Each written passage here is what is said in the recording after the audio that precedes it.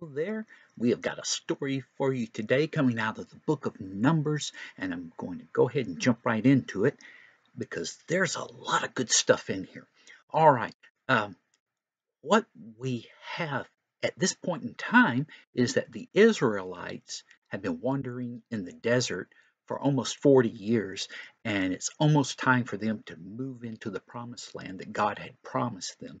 Uh, one of the things you may recall from the time with the spies was that the spies had been gone out for 40 days, and because the people would not uh, do what God had said for them to do, and really it's them not believing that God was going to help help them, then they were going to be stuck in the desert for one year for each day the spies had been out, and that's how you get your 40. So most of the people who had to die before they could move into it have died by this time. And that kind of makes sense because it has been 40 years. And all of the people who fell into that category had started off at the youngest age of 20. So this had included Miriam, uh, Moses' sister, and Aaron, Moses' brother. And Moses had already done something that had angered God, and he was not going to be able to go into the promised land. But at this point, he's still alive. So, as they're preparing to move into the promised land, uh, they are pretty close to it and they are on the move. Now, the people who lived in the promised land and outside of it at this time did not like having the Israelites there, and they saw them as a threat. And they were pretty smart in doing so because during that 40 years, apparently Israel had grown in numbers quite a bit so that when they got into an open plain, you could see people for as far as you could see. So this kind of scared the people they were going to be coming through. And this one group, I think it was uh, Canaanites from Arad, attacked them and captured some people. And the Israelites said, Oh, no, we're not having any of that. They prayed to God about that and were supported by God. When they went in, they wiped out Arad. Then they turned and said to the Ammonites, Okay, we'd like to pass through your land and we won't we won't touch any of your vineyards. We won't even drink the water there. We just want to go down the road. And the Ammonites said, No, you can't come through here. And they pulled out their army and attacked Israel. They got beaten up, they got wiped out. And then there was this uh, king named Og, and he drew out his army and attacked Israel. He gets wiped out. Well, there's a king named Balak who's the head of the Moabites, and he sees what's been happening. Okay, uh, the Israelites are 3 and 0 in fighting people. It's not like before when they had sometimes attacked and gotten beaten because they weren't following God. It seems that as the, at this point, the Israelites had finally gotten the word that, hey, we need to do what God says if we're going to be successful. Well, uh, Moab may or may not have been next on the list, but Balak at least thinks that they're going to come after him. So he sends off to a, faraway country for this guy named Balaam.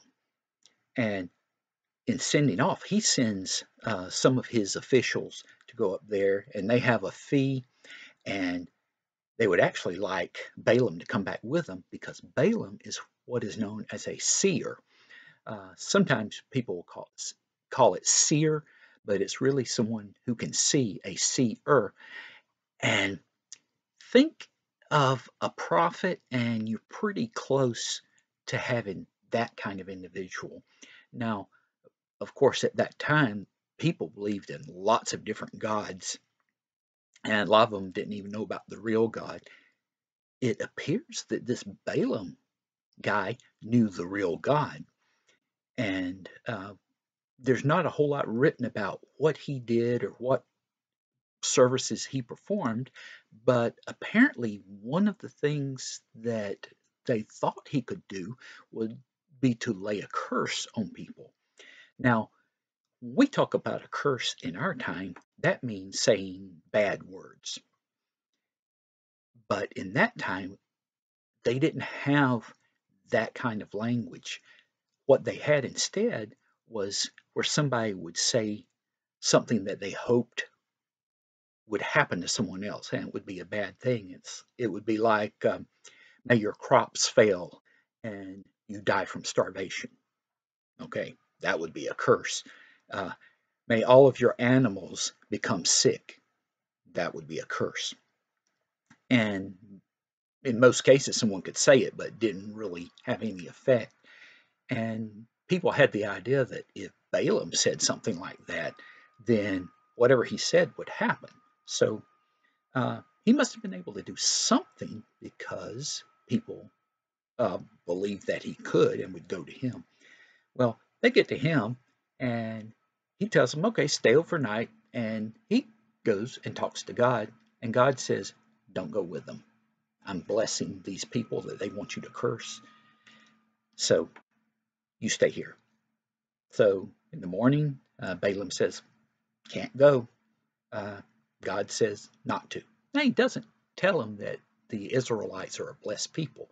As far as um, Balak's people, the Moabites, think, they think it's just a group that came out of Egypt. That's that's the way they refer to them. They don't know really anything about them except they're kind of on their doorstep waiting to get in. Well, they go back to their king. He sends more important officials and promises even more money to Balaam if he will come there and lay a curse on them. Now, this is where something starts happening, and if we're not careful, we're going to overlook it. Balaam has been told by God, these are a blessed people, don't go with them. But apparently he wants to go, and a lot of people think that it was the money he was looking for. So he wants to go. He goes back and talks to God, and God says, Okay, you can go with them, but you cannot uh, lay a curse on my people.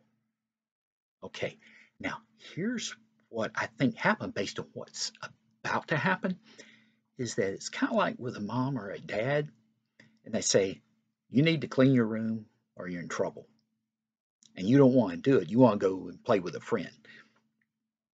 And you've asked them one time and they said, No, clean your room. Next time, they might say, All right, you can go there if you want to. And by the tone of voice, you realize that, you know, they're saying I can go, and I can go, but if I do, I'm going to get whatever punishment I was going to get for not doing what I'm supposed to, not what I was told to do. So Balaam takes advantage of that and he decides he's going to go. And he has a jenny, that's a, a female donkey, and he loads up next morning and he starts riding off with them. Well, remember, this guy's supposed to be a seer so that he can see all these things that nobody else can. But there's something he doesn't see right in front of him. As they're moving along, his Jenny sees that there is an angel with a drawn sword in the pathway. And so the jenny goes off into a field off the road, and Balaam gets his stick and he starts smacking the donkey to get back on the road. Well, then they get back on the road, they go for a little while, and then the jenny sees the angel again in front of them. Well, this time there's a wall to the side, and, and so the jenny's trying to move over and get off the road, but there's a wall in the way, and it, it, it mashes Balaam's foot against the wall, and he starts smacking the donkey again. So that's telling us already that Balaam is not really a, as good a guy as we would like to think, even though he's able to talk to God. Well, they go a little way more, and the jenny sees the angel again Well, now there's a wall on each side of the road, and it's so close in, the jenny can't go around to avoid the angel. And so the jenny just lies down. Well, he's there smacking the donkey, and then suddenly the donkey turns around and says to him, Why are you beating me? Now, we would be shocked because do donkeys talk? No. Now, the scripture tells us that God opened the mouth of the donkey because donkeys don't talk. So God's doing this. Now, here's the funnier part about it is that the donkey has said, Why are you beating me? And Balaam gets in an argument with the donkey. Uh, because you're, you know, you're doing all this and that. And if I had a sword, I would kill you. And the donkey says again, Have I ever done anything like this before? And Balaam's going, No. He's arguing with a donkey instead of going, Wait a second, donkeys don't talk. This must be God talking to me. Well, suddenly the angel opens Balaam's eyes and he sees the angel with the sword.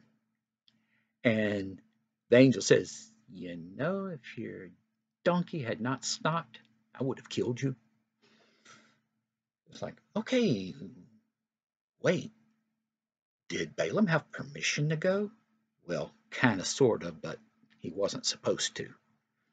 Well, to get on through with things, uh, you know, Balaam seems to have learned his lesson, and he's allowed to go on with uh, Balak's people, and he goes in and Balak shows him all these Israelites from one point of view. Of course, there's so many of them they can't see them all, and they do these sacrifices, and Balaam gets the word from God. No, these people are mine. You bless them. Here's the message for you to tell. And instead of pronouncing a curse, Balaam goes to Balak and he pronounces a blessing on the Israelites. And Balak is like, ah, why are you doing this? You're supposed to curse them, not bless them. Well, this happens two more times. And finally, Balak is fed up because, okay, I'm not paying you anything because you didn't do what I wanted you to do. Well, you know, Balaam at this point says, you know, I told you I can only do what God tells me to do. It's like Balak couldn't get it through his thick skull that um, you can't make God do something. Well, in all of this, the Moabites are going to get whipped up. Now, they're, they're not going to be completely wiped out, um, but they're going to have some bad times. And uh, Balaam, you would think at this point he's going to go on home. He pronounces a couple other blessings on the Israelites, but he ends up advising Balak in how to mess with the Israelites and cause them problems. And that works to some extent. It doesn't stop the Israelites, but it does cause trouble. Well, eventually, Balaam is going to be killed for what he did. You see, even though he knew God, he didn't follow God. That is the most important thing. He ends up being punished because apparently he thought just because God would talk to him that he was okay with God. What he need to realize is that you do what God says and you try the best you can to follow what he said and not so much what you would prefer to do. And that's a hard lesson for a lot of people to learn. Okay, with that, I'm going to close out this story. Now, you may have noticed from my tie up here, and I've got it down here, is there are eyes on my tie. And that's to remind us that Balaam was a seer. He could see things, but when it counted, he could not see the most important thing. All right, I'll let you go, and I hope you'll be back next time. Bye.